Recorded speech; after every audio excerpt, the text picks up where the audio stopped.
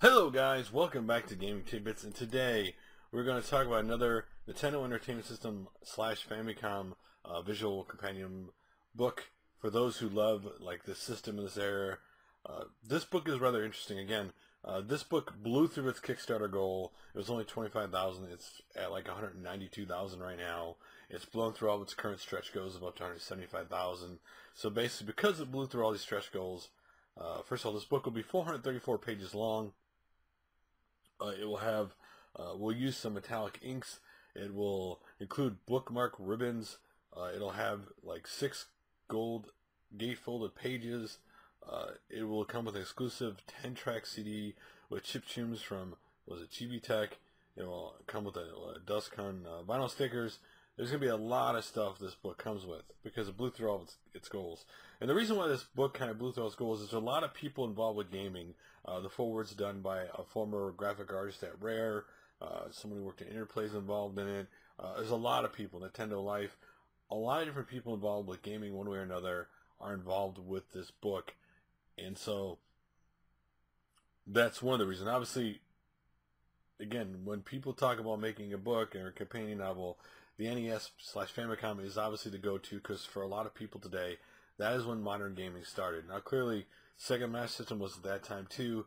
They both were. You can't if you're around that time, you can't think of one without the other because again, they were competing against each other, and like obviously, Sega Nintendo later did famously in the 16-bit era.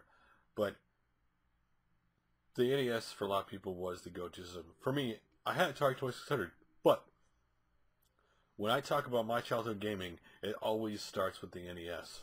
And of course later goes to Super Nintendo. But would love to see a great Super Nintendo book, N64, all those great systems, but obviously this is the go-to. This is for several reasons. One, obviously, this is when gaming started for a lot of people. It's the one that gets the most attention, uh, whether you like it or not, because obviously games are expensive, which draws some people to it too. All the reasons why this book is made. But for me, it's the love of that you know, that era between the system and the Nintendo Power and, you know, all your friends having when they're playing it. That was my childhood memory. Oh, the book's going to have a cool, uh, like, almost holographic cover where, like, the little uh, NES characters, like, move that on the cover of it, the game. And it's really cool book. And I think, again, if you want something to read and then when you're done reading it, like, you know, have on yourself to maybe pull it off later, this one was, I don't ever believe in buying a book just so it sits there. I believe if you're going to buy a book, you want to look at it and hopefully you learn something from it. Now, obviously, 434 pages this is clearly not going to cover every game that came out on it. I mean, you're not going to get in depth on every game. Obviously, it'll cover the most popular games or more well-known games on the system. Obviously, it'll probably cover some of the more expensive ones that a lot of people didn't play just because they're well-known, even though a lot of people may have never played them. So, if you're looking for a big companion book, and listen, if you look at the pages, they look amazing. Again, uh, one of the great thing about people doing books on these today is amazing how these pages look. Uh, and a lot of times feel like Nintendo Powerish to me. They also did go after permission from two video game magazines, I guess, to use their great uh, game maps and stuff for this book. So again, if you are a fan of that era, this is just another book to put on your radar. I'll obviously link uh, the Kickstarter below if you're interested because again you know this is definitely a cool thing to have. And not relatively expensive but still expensive enough. Probably you know the book's more or less what? Soft covers a little cheaper like soft covers like cheaper than a full price game, but if you want the hardcover version, you're going to pay a little bit more than what like a, buying a brand new game today would be. So not insanely expensive, but yet it just depends how much love they are and how much you want a book like that. And to me, it's really cool that these books come out. Give people choices, uh, you know, or, or just have one more thing about that era they love. If you love the NES, this could be something cool to, to obviously have for that, that system that you love. Or Famicom for that matter. Again, both awesome systems.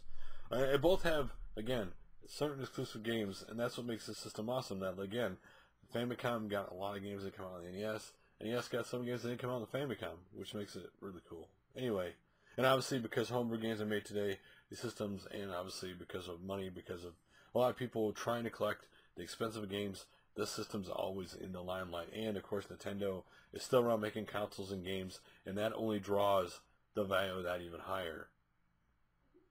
The day Nintendo ever like were to stop making a system, it would only draw the value of that stuff even higher than it is now.